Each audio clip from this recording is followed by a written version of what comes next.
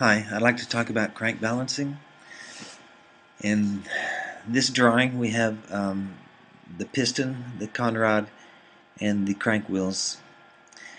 The piston has only a vertical movement. The crank wheels only a rotational movement. Um, because of the design of this, the the top speed of the piston is in the mid-range. As it goes from the mid-range to the top, it slows down. Then it speeds up, then it slows down, then it speeds up. And so as a result, from about 80 before top dead center to 80 after top dead center, you have a vertical force, a vertical inertia. It's like trying to stop something that's already moving and you're pulling back, you're holding back the reins on it. So that movement is in that in the direction that movement that you're trying to stop. That's what inertia is, a change of, of, um, of movement or an in initiating movement. And you have the opposite when the piston is at bottom dead center. So that upward and that bottom movement is countered by a counterbalance force, which can either be opposite of the crank pin or holes close to the crank pin.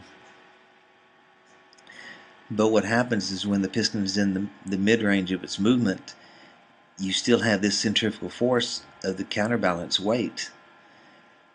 And so if we perfectly counterbalance the vertical movement, all we would have left is horizontal movement and it would be it would be too much. The vibration would be too much. So we have a compromise between counterbalancing the vertical movement and not having too much horizontal movement. And that's as good as you can get on this basic method of counterbalancing. Uh, so what we have is the old method of 50% of the, the conrod and the piston count, counterbalancing weight at at the same um, same radius as the uh, crank pin or you can use my my Excel sheet that counter that calculates no matter where you have the uh, the holes at, whether or not because the holes are farther than this distance from the the center, they'll have actually more force. Holes here create an imaginary weight here. Well, it's not imaginary; it's true. I mean, if you cut the, the wheels in half, you would have more weight on this side than this side because of the holes. So, um, this is a picture of the crank of my 55cc engine and the two holes that it came with. And this is a a graph of 360 degrees zero being this mark right here. Top dead center 90 degrees after top dead center bottom dead center 9 degrees before top dead center 360 degrees, you can see the movement is more vertical than it is horizontal. So the vibration was significant. It was not pleasant at all. After I put a 9 millimeter hole right here and on both sides of on both both of the crank half crank halves this is the resultant uh, graph of the the the forces on the uh, on the crankshaft, which is almost perfect. The ratio of vertical to horizontal forces that are as good as you can get is 0.85. this is the graph when it is 0.85, which is almost exactly the same as that. So there's a good margin of for error, good leeway, and um, on my uh, my program uh, it shows it graphs the vertical forces here. And then it adds it to the horizontal forces to create this graph here. The blue graph being the upper assembly of the, the piston rings bearing pin. And this section of the uh, conrod the counterbalance force due to the, the holes is this orange graph here. And the connecting rod is the green graph. It, it dips right in the middle, top dead center and bottom dead center because as that movement gets close to that, it, it becomes more horizontal than it does vertical, and so it loses the vertical force. Um, this green graph is a is a composite of, of these three added together, and then the red is an average of the green graph, assuming that because of frame inertia, you wouldn't feel every little spike of uh, force deviation. This is a graph showing um, the force throughout all 360 degrees that every 15 degrees you look at the crank wheel divided into 15 degree sections that's what it looks like. The idea being maintaining the average of these forces as low as possible and the deviation from from high to low as low as possible. How I was able to calculate the uh, the connecting rod force and graph it here I sectored the, the shaft into four sections and assumed all the weight of each section was centered right in the middle. And then I graphed those four on paper. And I figured out the arc and the radius for each of those that each 15 degrees. And I put those those factors into the, the program this shows uh, the movement of all four sectors, the top one being most vertical and the bottom still being more vertical than horizontal, which is why the Conrod adds a significant amount of vertical force. On, on my bike, it's 71% of the vertical force of the piston assembly. Okay, it's late at night and I'm tired, but I want to get this video done and out of the way.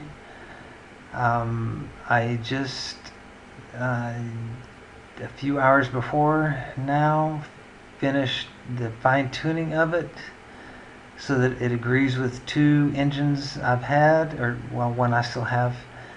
Um, they show here that at top RPM it is uh, it's um, balanced, and the balance that this is showing is um, above the above the zero line means that the vertical force here is greater than the horizontal force here.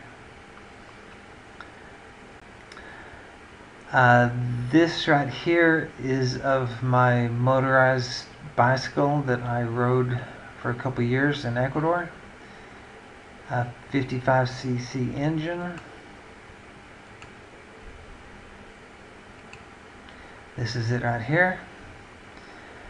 And it vibrated a lot until I drilled a hole in the crank wheels.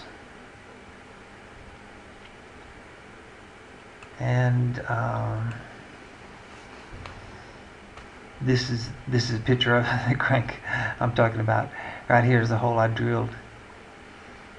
The first one I drilled was 7.2 millimeters in diameter on both both crank wheels and it still had a little bit of vibration okay? And then I went to a larger hole I went to 9.2 millimeters. And you can see the graph now. It zeroes right at about 7500 which is about 1500 RPM below the top RPM so anywhere from there to having it zero at the top RPM, I consider a good balance for the engine. And um, let me see what else I wanted to show you. Uh, this is a, a home test for whether or not your engine is balanced or not. And by balance, I mean relatively speaking, because when the uh, when the engine's running, hold the, this spoke on here. Ideal size is about 20 from about a 24 inch uh, bicycle wheel. And uh, you can see it vibrated up and down or left and right. If it vibrates up and down, that means the uh, the vertical um, it means there's a lack of of counterbalance. In other words, the holes in the and the crank need to be bigger. When it vibrates left or right, that means there's too much counterbalance, and the holes need to be smaller, which you can you can fill them and then re-drill a smaller hole.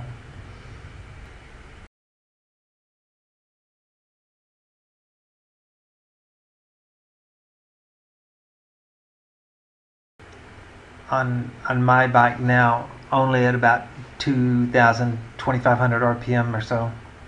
Does it vibrate a little bit in this direction a little bit forward? But all the rest of the rpms it's smooth as silk. So um, like I said this is my motorized bike that was a little bit unbalanced and I'm going to show you what I did to balance it. I drew the hole out to 9.2 millimeters and this is what I got and it was smooth. I could look out the rearview mirror and actually see what I'm what was behind me. So uh, from this and let me show you my Suzuki. My Suzuki does the same thing and both of them are fairly well balanced. I'm, I'm estimating that probably you could set the balance anywhere along here the, the zero where it zeroes out. And the reason it, it does that is because the the um, the up and down inertia of the piston has it in, increases at a different rate than the outward centrifugal force of the, um, the imbalanced uh, crank. And so where they where they cross in a balanced engine is where those two forces cross if you were to, if you were to graph them out. Yeah, these these two examples are really good uh, to show what it is you're you're you're targeting. I guess I show you a picture of my Suzuki and um, yeah so it works I think it's uh, I think it's good I'm, I'm, I'm entering into the, this is a low compression ratio because right now the rings are worn. And what matters is the, uh, the cranking PSI. And so the compression ratio uh, estimates the PSI and it goes by that. Uh, the, the higher the compression ratio, um, or the PSI, the higher the, uh, the forces will be, which will be over here, the purple chart over here let me show you that. Right here. This is a graph of the vertical forces. This purple is the combustion force. So the higher the compression ratio the higher this force is. So that's figured into the the uh, the calculations.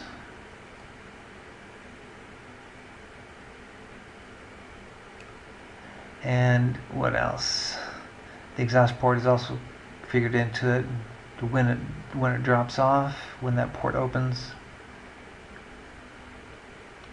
Also, this the cylinder bore because the the the more piston top area that is, the more force is actually delivered to the crank for the same amount of, uh, of psi in the cylinder, which is why big bore engines put out more power than small bore engines, even though they may have the same um, combustion pressure inside the cylinder. Okay, my friends, I think that's about it for now. You know where to reach me.